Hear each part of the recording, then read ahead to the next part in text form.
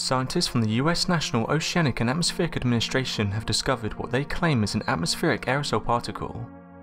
What's worrying is that this particle is enriched with the uranium which is used in nuclear fuel and bombs.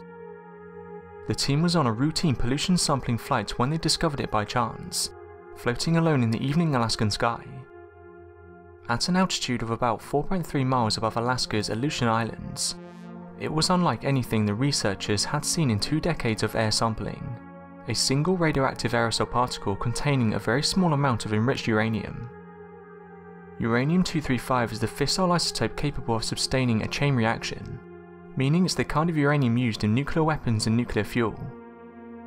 While uranium-235 does occur in nature, the sample contained about three times as much uranium-235 content as would ever naturally occur in a sample of the metal at this size, meaning the particle qualifies as enriched uranium for the purposes of nuclear power generation or military weapons.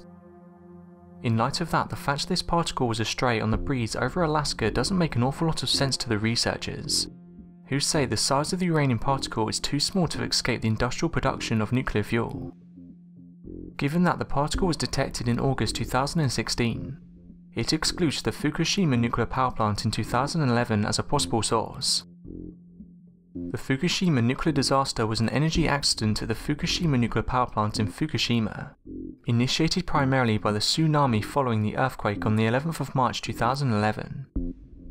Immediately after the earthquake, the active reactors automatically shut down the sustained fusion reactors.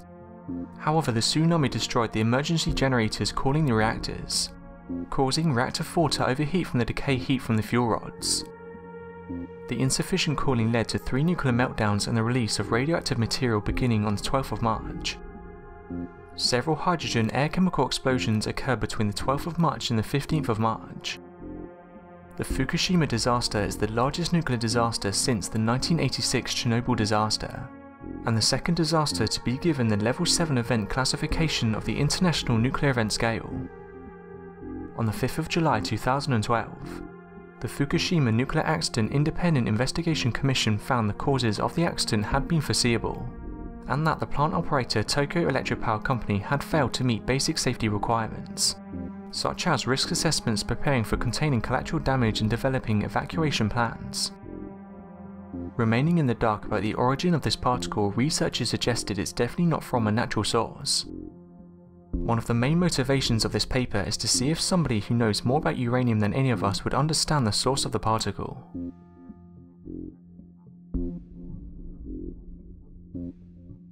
Thanks for watching and don't forget to subscribe for more videos.